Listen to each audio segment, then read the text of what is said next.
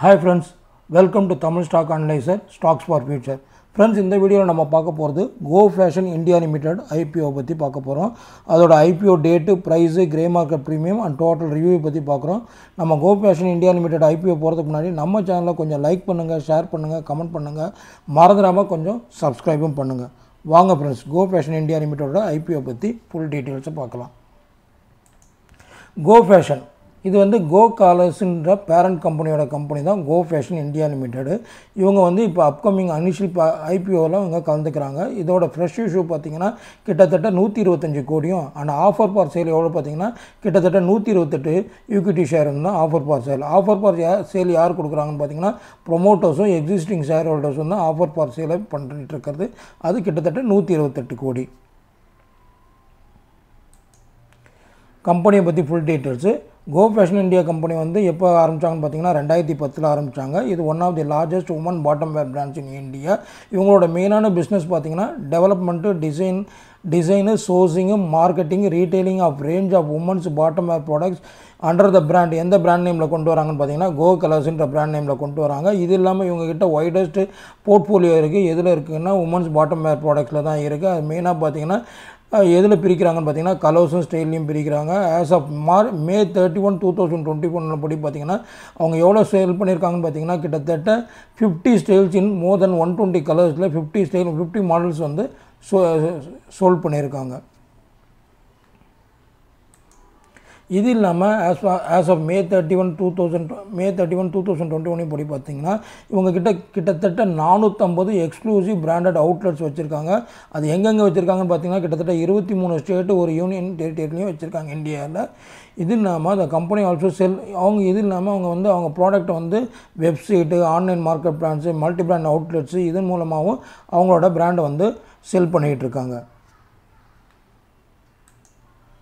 இவங்களோட மெயினான competitive strength என்னென்னு பார்த்தீங்கன்னா இது நம்மளுக்கு தெரிஞ்சது தான் one of the largest women's bottom wear branded in India இவங்க வந்து ஒய்டாகவும் வெல் டைவர்சிஃபைடு ப்ராடக்ட் போர்ட்ஃபோலியோ வச்சுருக்காங்க. அது இல்லாமல் மூவாயிரம் அட்வான்டேஜும் இருக்கின்றது இது. இல்லாமல் multi channel retail presence across India strong unit economic with an efficient operating model அப்புறம் ஸ்ட்ராங் ஃபினான்ஷியல் பெர்ஃபார்மன்ஸ் ரெக்கார்டும் வச்சுருக்காங்க. இதெல்லாம் பார்த்திங்கன்னா இவங்களோட காம்படிட்டிவ் ஸ்ட்ரென்த்ஸாக இருக்குது கம்பெனியோட ப்ரொமோட்டர்ஸ் யார் யாருன்னு பார்த்தீங்கன்னா பார்த்தீங்கன்னா பிரகாஷ்குமார் சரோஜி கௌதம் சரோஜி ராகுல் சரோஜி. இந்த இவங்க மூணு பேர் தான் வந்து கம்பெனியோட மெயினான ப்ரொமோட்டர்ஸு இவங்க வந்து ஐபிஓட அலோகேஷனை வந்து மூணு வகையாக பிரிச்சிருக்காங்க. QIB NIC retail set investors QIB பார்த்திங்கன்னா செவன்ட்டி ஃபைவ் பர்சன்டேஜும் என்ஐபிஸ் பார்த்திங்கன்னா ஃபிஃப்டீன் பர்சன்டேஜும் ரீட்டைல் இன்வெஸ்டர்ஸ்க்கு வந்து பத்து பர்சன்டேஜ் அதாவது நம்மளை மாதிரி ரீட்டைல் இன்வெஸ்டர்ஸு இந்த ஐபிஓவில் கலந்துங்கன்னா நம்மளுக்கு ஒதுக்கி இருக்க அலோகேஷன் படி பார்த்திங்கன்னா பத்து பர்சன்டேஜ் ஒதுக்கியிருக்காங்க. இப்போ நம்ம கம்பெனியோட ஃபினான்ஷியல் ட்ரெண்டு பார்க்கலாம். அதாவது ஃபினான்ஷியல் ட்ரெண்ட் வந்து பார்த்திங்கன்னா ப்ராஃபிட் ஆஃப்டர் டேக்ஸு மில்லியன்ஸில் கொடுத்துருக்காங்க.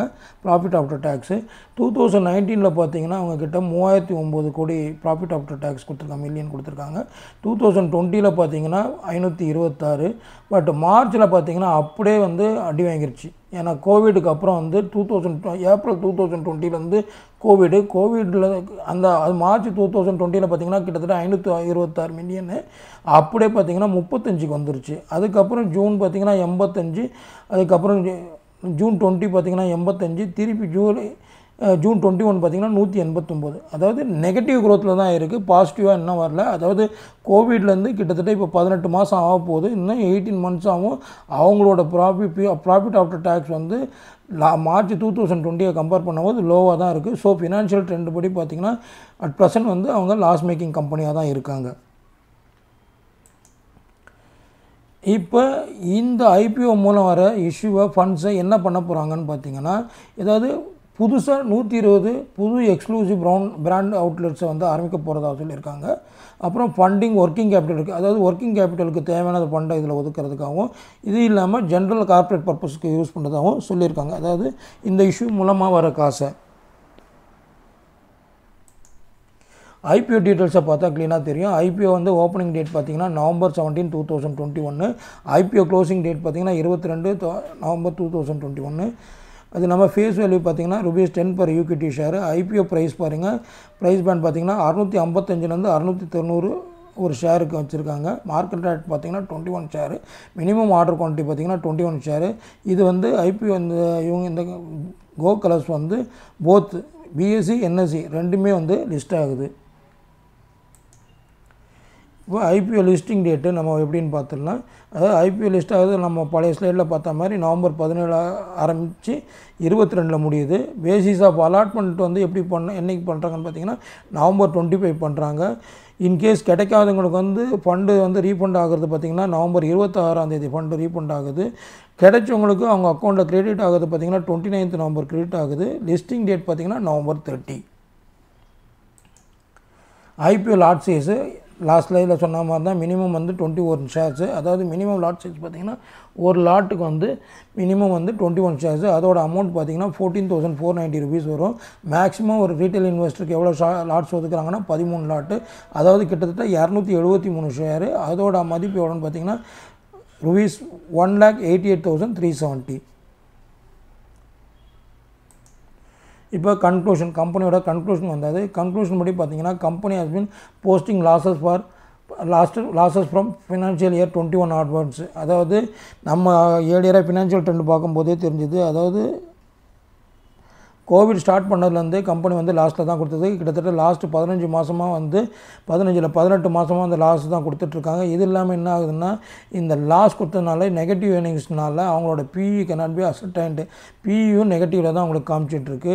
ஜிஎம்பி கர கிரே மார்க்கெட் ப்ரீமியம் படி இன்றைக்கி டேட் வரைக்கும் ஜீரோவில் தான் இருக்குது எதுவுமே வந்து கிரே மார்க்கெட் ப்ரீமியம் வந்து டே டு டே சேஞ்ச் ஆகும். அப்படி லிஸ்டிங் டேட் வரைக்கும் அது வந்து மாறிக்கிட்டே இருக்கும். ஸோ பட் கரண்ட் சினரியோ படி பார்த்திங்கன்னா அது நாட் அவைலபிள் ஜீரோவில் தான் இருக்குன்னு அர்த்தம். இந்த ஐபிஓ நீங்கள் இதை வந்து நாங்கள் ரெக்கமெண்ட் வந்து ரிஸ்க்கு டேக் ரிஸ்க் எடுக்கிறவங்க வேணால் ஐபிஓவில் இந்த ஐபிஓவில் இறங்கலாம்.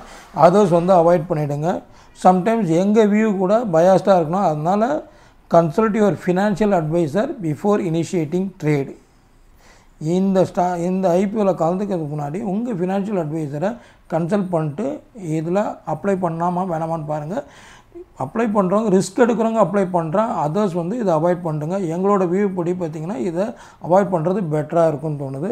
பிகாஸ் லாஸ்ட் எயிட்டீன் மந்த்ஸ் கிட்டத்தட்ட வந்து நெகட்டிவ் அதாவது அவங்களோட நெகட்டிவில் தான் லாஸஸ் தான் கொடுத்துக்கிட்டு இருக்காங்க.